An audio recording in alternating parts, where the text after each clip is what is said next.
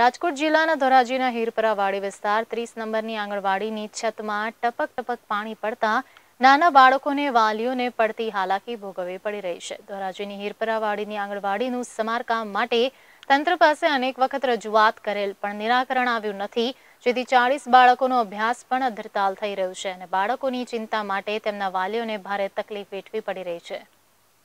રાજકોટ જિલ્લાના ધોરાજીના હીરપરાવાડી વિસ્તારમાં આવેલ ત્રીસ નંબરની આંગણવાડીમાં ઘણા સમયથી સામાન્ય વરસાદમાં છતમાં ટપક ટપક પાણી પડતા ચાલીસ જિલ્લા નાના બાળકોનો અભ્યાસ તથા વાલીઓને લેવા જવામાં ભારે હાલાકી વેઠવાનો વારો આવ્યો છે.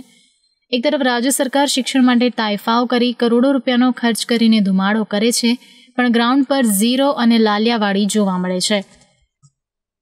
ધોરાજીના હીરપરાવાડી વિસ્તારમાં આવેલ ત્રીસ નંબરની આંગણવાડીમાં જ્યારે ચોમાસું સત્ર આવે છે, ત્યારે છતમાંથી પાણી પડે છે. પ્રશાસનને મૌખિક લેખિત રજૂઆત કરેલ છે કે આંગણવાડીનું સમારકામ કરવામાં આવે, પણ હજુ સુધી કોઈ કામગીરી કરવામાં આવી નથી. અને આંગણવાડીની નજીક મોટા મોટા ખાડાઓ પડેલા છે. તેમાં વરસાદી પાણી ભરાવાથી આંગણવાડીની છતમાંથી પાણી પડે છે, જેથી બાળકોને અને વાલીઓને ભારે હાલાકી વેઠવી પડે છે. ધોરાજી હિરપરા વાડીમાં આવેલ આંગણવાડીમાં બાળકોનો અભ્યાસ પણ થઈ શકતો નથી અને આ કુમળા બાળકોનો વિકાસ પણ રૂંધાઈ જાય છે. બાળકોને આંગણવાડીએ મૂકવા આવે ત્યારે તકલીફ પડે છે. આંગણવાડીની છતમાંથી પાણી પડે છે. બાળકો અંદર વ્યવસ્થિત બેસી શકતા નથી. જેથી હજુ મૂકી ગયા હોય, એમાં થોડોક વરસાદ પડે, તો આંગણવાડીએથી ફોન આવે કે તમારા બાળકને લઈ જાવ અહીં બેસી શકાય તેમ નથી. છતમાંથી પાણી પડે છે, જેથી લાઇટ પંખો પણ ચાલુ કરી શકાતો નથી.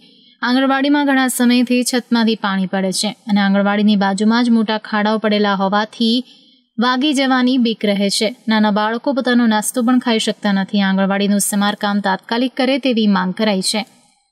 આંગણવાડી અધિકારી આ બાબતે જણાવ્યું હતું કે આંગણવાડીમાં જે તકલીફ પડી રહી છે તેની રજૂઆત આવી છે. ઓફિસમાં પણ જાણ કરાઈ છે.